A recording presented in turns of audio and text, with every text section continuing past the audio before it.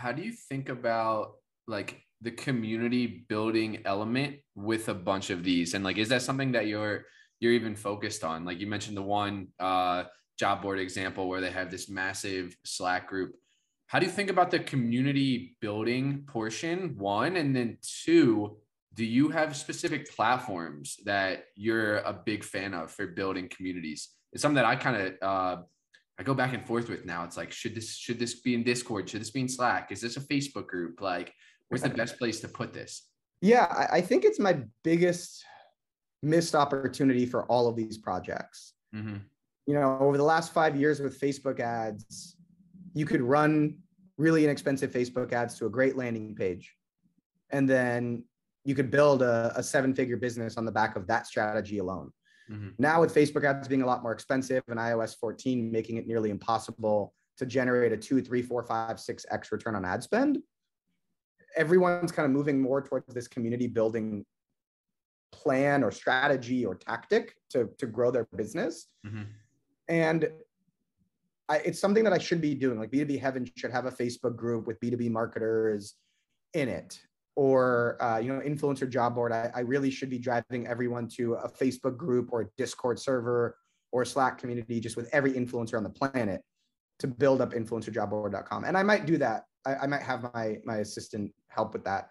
Um, but my my plan is a little bit different than most or my strategy is a little bit different.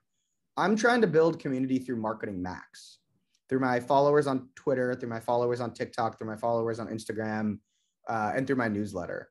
And I think by building up the community around Marketing Max, I'm creating a moat around all of my businesses. And I'm giving myself a community that I can test new projects in quickly without having to spend too much money. So I don't think I need to. I would certainly have a lot more of my projects go farther faster and make mm-hmm. more money faster if I built a community for each. But my plan is to build up the Marketing Max community and the Marketing Max audience because all of my projects that I ever build will always be in the marketing slash entrepreneur early startup founder space and phase of people's career and of people's journey. And so if I can build the Marketing Max brand, then I can sell them a bunch of other stuff. If you're familiar with Russell Brunson, right? He built his Russell Brunson brand through a bunch of books. And then he sells you ClickFunnels. And then he sells you other tools that he's working on. And then he sells you, you know, masterminds and everything else. But everyone knows Russell Brunson, right? Top, right? That's the top. And then he can sell you a bunch of other stuff. If I did it for influencer job board, and then I launched, uh, you know, an, an influencer date, like another niche influencer database, you know, I could say, hey, our sister company just launched, or hey, we're also launching this side thing. It's not going to have the same effect. Gotcha. So um, that's that's my plan. That's my strategy. In terms of the community to build the group on, I think it really depends on the community. Like, what do they use the most? Mm-hmm. I'm a big fan of Facebook at, or of Facebook groups because I'm in three Facebook groups that I pay annually to be a part of, and a lot of those groups tend to have slightly old, slight, uh, a slightly older demographic, like late 30s, 40s, and 50s. And so most of those people spend a lot of time on Facebook you know, I, I'm I'm also in a handful of Discord servers for, you know, NFT projects and DAO projects.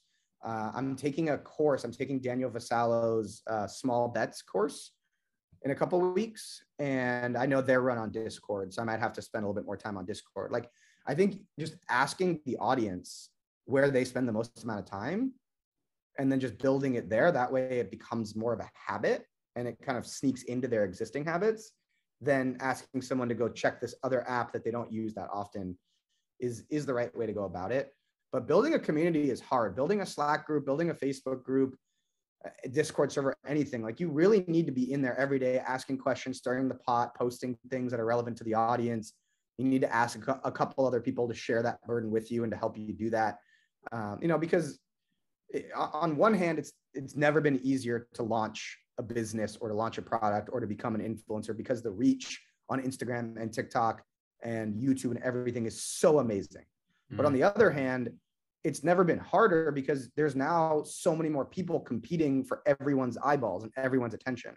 So you have to have a really good community to to really grow or to even have a chance at becoming anything habit building or habit forming where people are in it daily or even weekly